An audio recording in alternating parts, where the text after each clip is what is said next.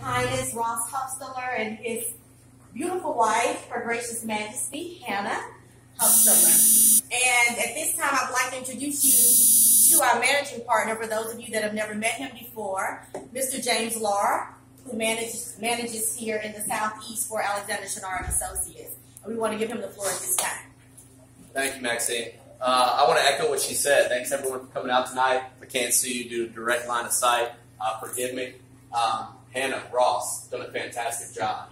Everybody at the firm, Maxine, Ty, everyone else who's lent a hand, Jasmine Woods, uh, to this event, and really the progression of the developing tradition.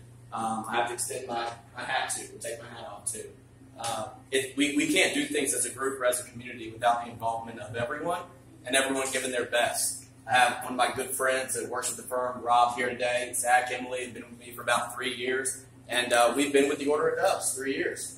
Um, first off, it was Alex as king, and then it was me, and now it's Ross. And uh, we're handing it down in a way that we're viewing the people who are involved as understanding of the tradition. Um, certain things that we find important, we know are echoed um, by the other folks who aren't in the firm, and that's why we partner with you. Um, so I'm, I'm, happy to see everybody having a good Mardi Gras to the kids that are here today, the mentoring program.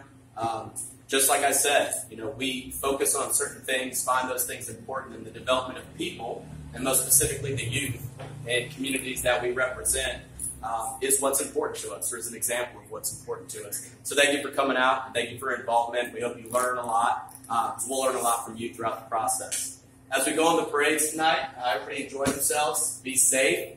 Um, we've had some events in the past where we've either fallen through a float or uh, we've thrown the throws too hard, but some of that is just Mardi Gras. Uh, and understand that you always have a home here. If you ever need anything, obviously reach out to us, but just come knock on the door too. You know, whether it's during a parade or just on a general day if it's raining. Um, again, thank you for coming out, Maxine. Great job. Let's have a good time.